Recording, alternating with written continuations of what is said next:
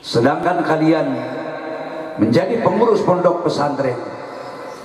Jauh dari materi ini adalah lembaga pengabdian. Dari sebelum kalian menjalankan tugas sebagai pengurus pondok pesantren yang harus kalian sadari yang harus kalian fahami pesantren ini adalah lembaga kepunyaan Allah kalian hanya mengabdikan diri kepada Allah siang dan malam.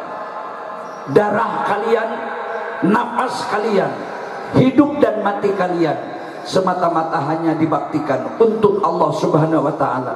Dan Allah akan berjanji memberikan sebuah penghargaan dengan sejumlah keselamatan di akhirat kelak. Walaupun kerja kalian tidak dibayar kerja kalian tidak ada upah kerja kalian tidak ada duit ini yang harus kalian sadari bahwa lembaga pesantren adalah lembaga pengabdian jalan untuk hidup menuju keselamatan di akhirat kelak.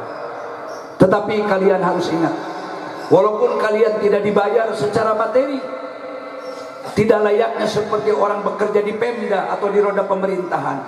Sebetulnya jauh lebih untung, lebih besar kalian karena surga dan keriduan Allah di tangan kalian.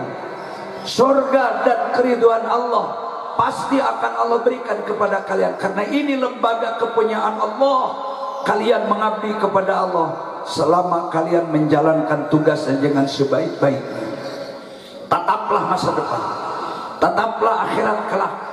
Sesungguhnya kehidupan yang kekal dan abadi bukan sekarang di dunia ini kampung tempat halaman kalian yang sebenar-benarnya adalah nanti di akhirat kelak. Tidak ada langkah kalian menjalankan tugas ini kecuali pasti Allah akan balas nanti di akhirat kelak. Dan ini mohon dicamkan. Sekali lagi saya pimpinan pesantren sama dengan kalian sebagai khodimul ma'had sebagai pelayan pondok pesantren dan semata-mata. Khodimul ma'hadin adalah pelayan Allah. Lebih baik kita menjadi petugas-petugas dan pesuruh Allah. Lebih baik, lebih mulia, lebih terhormat yang menjadi pilihan Allah. Karena kita adalah pesuruh Allah petugas mengurus lembaga milik Allah. Ketimbang kita hanya diberikan label sebagai abdi dan hamba negara yang di akhirat kelak belum tentu ada jaminan mendapatkan keriduan Allah Ta'ala kalau mereka tidak disertai dengan keikhlasan, kebenaran dan kejujuran. Tetapi kita menjadi pesuruh-pesuruh Allah di pondok pesantren. Saya hakul yakin kalian ini adalah manusia-manusia yang sangat mulia apabila kalian dengan ikhlas menjalankan tugas suci ini. Insya Allah dengan penuh roja Allah akan memberikan petunjuk dan bimbingan kepada kita semua. Yang terakhir,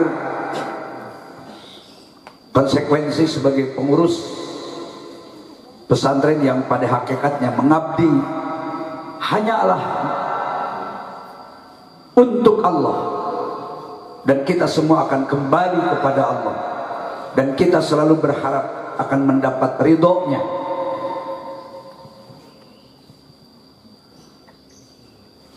Selama menjalankan tugas baik jadi Rois Am, Roisa, Sekretaris Pendidikan dan seluruh seksi-seksi yang terkait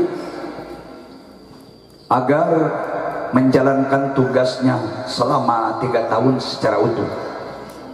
Jadi ulah ayah pengurus anu daftar hayang kawin selama tiga tahun menjalankan tugas pengurus di pondok pesantren. Kalian fokus selesaikan tugas kalian.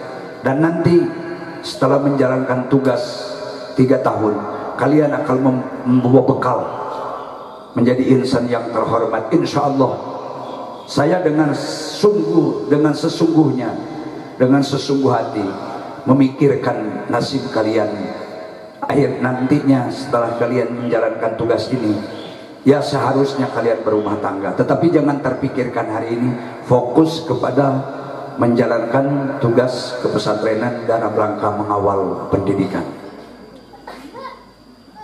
Dan ini bagian daripada isi yang disampaikan dan dibacakan diikrarkan dalam sumpah jabatan kalian tadi.